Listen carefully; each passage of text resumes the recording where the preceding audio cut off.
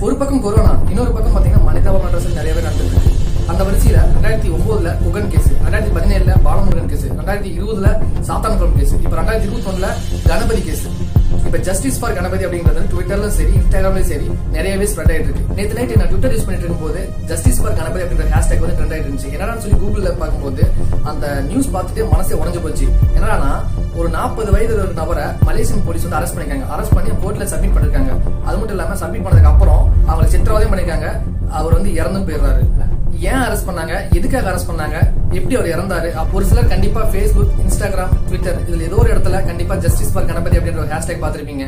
நாற்பது வயசு இருக்கிற நபர் அதாவது கணபதி அவரை மலேசியன் போலீஸ் வந்து twenty four February twenty twenty one அப்ப அரெஸ்ட் பண்றாங்க. அரெஸ்ட் பண்ணது மட்டும் இல்லாமல் அவர் கொண்டு போய் லாக்அப்ல போட்டு அவர் மேல ஒரு மூணு கேஸ் மாரி ஃபைல் பண்றாங்க. அது பாத்தீங்கன்னா ராபரி ரவுடிசம் ஹைஜாக்கிங் அப்படின்ற கேஸ்ல இவங்க ஃபர்ஸ்ட் ஏன் அரெஸ்ட் பண்ணாங்க அப்படின்னா அவர் தம்பி மேல ஒரு கேஸ் இருந்துச்சு. அந்த கேஸோட அடிப்படையை வச்சுதான் அவர் மேல ஒரு சஸ்பெக்ட்ல அரெஸ்ட் பண்ணிருக்காங்க அரெஸ்ட் பண்ணி தான் அதுக்கப்புறம் தான் அந்த மூணு கேஸும் ஃபைல் பண்ணிருக்காங்க அப்படி அரெஸ்ட் பண்ணதுக்கு அப்புறம் அவர் கொண்டு போய் கோர்ட்லயும் சப்மிட் பண்ணிக்காங்க. கோர்ட்டுமே டுவெல் டேஸ் ரிமாண்ட் பண்ணுங்க. ரிமாண்ட் பண்ணி அவங்க என்னன்னு கேஸ் விசாரிங்க அப்படின்னு சொல்லியிருக்காங்க. இவங்களும் அவர் கூட்டிட்டு போயிட்டு விசாரணை செஞ்சிருக்காங்க. விசாரணை செய்யற விதம் வந்து வேற மாதிரி விசாரணை செஞ்சிருக்காங்க. இந்த வீடியோல இருக்கிற எல்லா போலீஸும் நான் குறை சொல்லல. அதுல பல நலவங்களும் இருக்காங்க. போலீஸ் விசாரணையில அவரை அடிச்சதாகவும் துன்புறுத்தினாகவும் தெரிய வருது. அது மட்டும் இல்லாம ஒரு நாலு நாள் கழிச்சு அவங்க வீட்டுக்கு கால் பண்ணிருக்காங்க போலீஸ் ஸ்டேஷன்ல இருந்து. கால் பண்ணி என்ன மருந்து தேவைப்படுதுன்னு கொண்டு வாங்க அப்படின்னு சொல்லியிருக்காங்க. அவங்க தங்கச்சியுமே மருந்து கொண்டு போயிருக்காங்க. ஏன்னா அவருக்கு வந்து டயபெட்டிஸ் அண்ட் ஹார்ட்ல கொஞ்சம் ப்ராப்ளம் இருக்கு. சோ அவங்க வந்து மருந்து கொண்டு போய் கொடுத்துருக்காங்க ரெகுலரா இருக்கிற மருந்து.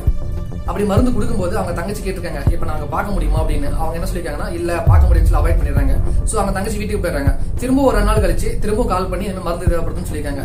திரும்ப அவங்க போய் கொடுத்துருக்காங்க கொடுக்கும்போது அப்பயும் கேட்டிருக்காங்க அப்பயுமே மறுக்கப்படுறாங்க பாக்குறதுக்கு இதுக்கடையில விசாரணை செஞ்சுட்டு இருக்கும்போது கணபதி அவர்களை நாலு டைம் வந்து போலீஸ் ஹாஸ்பிட்டல் கூட்டி போயிருக்காங்க. அது எப்போ பண்ணா twenty eight February March three March six March seven கூட்டு போய் ட்ரீட்மெண்ட் கொடுத்துருக்காங்க. ட்ரீட்மெண்ட் கொடுக்கும்போது அங்க இருந்தே கால் பண்ணிருக்காங்க இந்த மாதிரி உங்க பையன் நாங்க ரிலீஸ் பண்ணிட்டோம். நீங்க வந்து பார்க்கலாம் அப்படின்னு சொல்லியிருக்காங்க. அவங்க அம்மாவும் அவங்க தங்கச்சியும் அவங்க சொந்தக்காரங்களோட போய் அவங்க பாக்குறாங்க பார்க்கும்போது அவரோட நிலைமை வந்து ரொம்ப மோசமா இருக்குது. பாத்தீங்கன்னா கால் ரைட் கால் பார்த்தீங்கன்னா வீங்கிருக்கு அவங்க அம்மா கேக்குறாங்க என்ன ஆச்சு ஏன் இப்படி ஆச்சு? போகும்போது நல்லா தானே போனேன் எப்படி விசாரணை செய்யும் போது இப்படி ஆச்சு அப்படின்னு சொல்லி கேக்குறாங்க. அதுக்கு அவர் சொல்லியிருக்காரு என்னை வந்து தார் ரோட்ல காலை போட்டு இழுத்துட்டு வந்தாங்க. தர தேய்ச்சிட்டு வந்தாங்க. அது மட்டும் இல்லாம என்னை வந்து ரப்பர் பைப்ல அடிச்சு சித்திரவதை பண்ணாங்க. அப்படின்னு சொல்லி தாய் கிட்ட அவர் கணபதி அவர்கள் சொல்லியிருக்காரு. அவர் சொல்லும் போது அவர் கேட்டு அவங்க தாய் வந்து அப்படி மொட்டஞ்சு போய் உட்காந்துக்கிறாங்க அதுக்கப்புறம் அவர் கொஞ்ச நாள் ஹாஸ்பிட்டலே ட்ரீட்மெண்ட்காக இருக்காரு.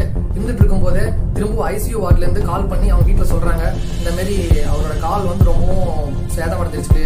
ஸோ அவங்க ஆப்ரேட் பண்ணி வெளியே பாதி கால் எடுக்கணும் அப்படின்னு சொல்லி சொல்றாங்க. அதுக்கு அவங்க அம்மா சொல்லியிருக்காங்க இல்லை கால் எடுக்காம ஏதாவது பண்ண முடியுமா?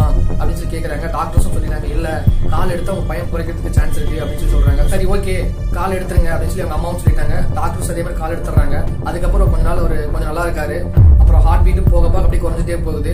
அப்புறம் இன்னும் கொஞ்ச நாள் கழிச்சு அவங்க ஹாஸ்பிட்டல் திரும்ப சொல்றாங்க இல்ல இன்னும் இருக்கிற பாதி காலம் எடுக்கணும் அப்படின்றாங்க. அப்படி எடுத்தா மட்டும் தான் அவர் இன்னுமே உயிர் பழைப்பாரு அப்படின்னு சொல்லி சொல்றாங்க. அதுக்கு அவங்க அம்மா சம்மதிக்கிறாங்க.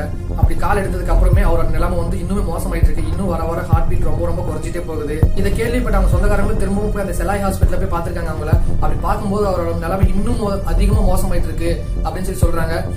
ஹார்ட் பீட் ரொம்ப ரொம்ப குறைஞ்சிட்டே இருக்க போகுது.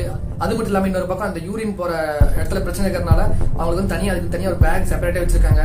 இதெல்லாம் பார்த்துட்டு கணபதி அவர்கள் மட்டும் இல்லாம அவங்க அம்மா அவங்க சொந்தக்காரங்க எல்லாருமே ரொம்ப மனசு விட்டுறாங்க. அப்படி இருக்க நிலைமையில டாக்டர்ஸ் எவ்வளவு ட்ரீட்மெண்ட் கொடுத்துமே கணபதி அவர்களை காப்பாத்த முடியல. ஏப்ரல் பதினெட்டு ரெண்டாயிரத்தி இருபத்தி ஒன்பது அவர் இறந்துடுறாரு.